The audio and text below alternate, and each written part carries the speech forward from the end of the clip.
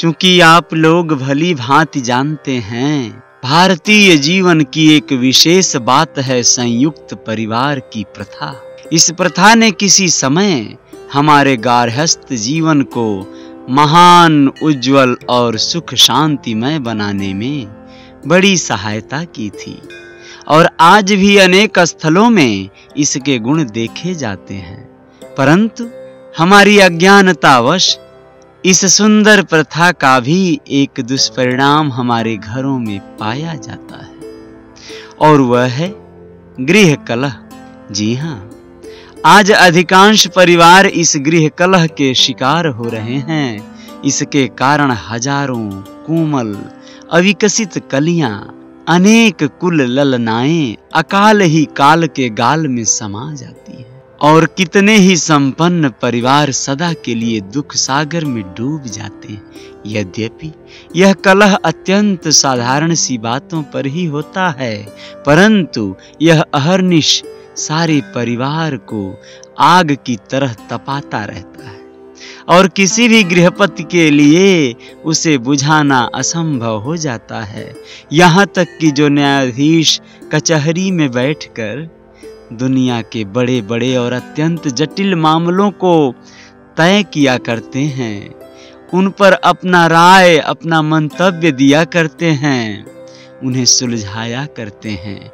वे भी अपने घर के मुकदमे का फैसला करने में असमर्थ हो जाते हैं। जो उपाधि प्राप्त डॉक्टर भीषण से भीषण प्राण घातक रोगों की चिकित्सा बड़ी सफलता के साथ किया करते हैं, वे भी इस गृह रोग को दूर करने में असफल रहते हैं। इस भारतीय गृह कलह की भयंकरता, इससे अधिक और क्या वर्णन किया जाए? भगवान, इस महामारी से भारत की रक्षा करें। भक्तराज नरसिंह राम की प्रिय पुत्री कुंवरबाई का विवाह एक सुसंपन्न शिक्षित परिवार में हुआ था और जब से ससुराल गई थी, तब से बराबर ही कुलोचित धर्म का पालन पूर्ण रूप से करने की चेष्टा भी करती थी। वह कभी किसी काम से जी नहीं चुराती थी और सदा सबके लिए आदर भाव और प्रेम का बर्ताव करती थी। फिर भी घर में बेचारी का मान नहीं था।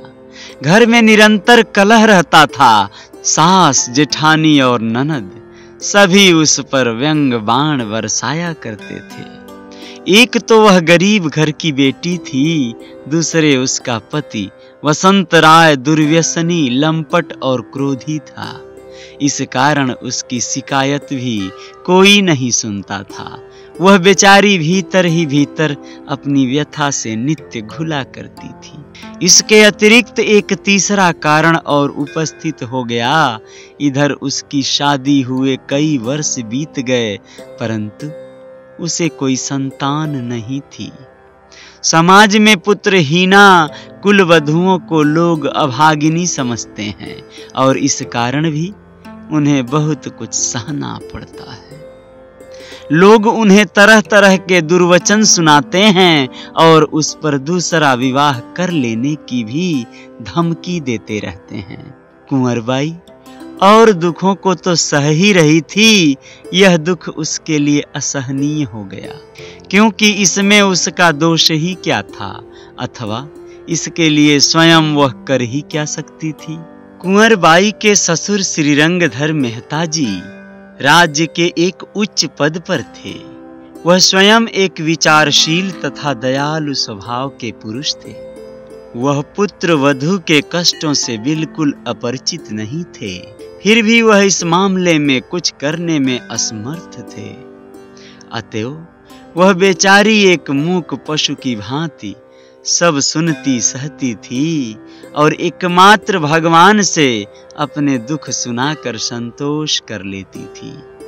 कहते हैं, जब मनुष्य सब ओर से आशाएँ छोड़कर केवल एक भगवान को दीन भाव से पुकारता है, तब उसकी पुकार भगवान के कानों में अवश्य पहुँचती है, और फिर भगवान को उस प्राणी का कष्ट दूर किए बिना चैन नहीं मिलता।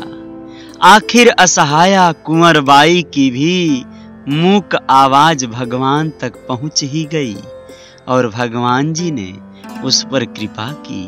वह गर्भवती हुई, और धीरे धीरे उसका गर्भ सात आठ मास का हो गया।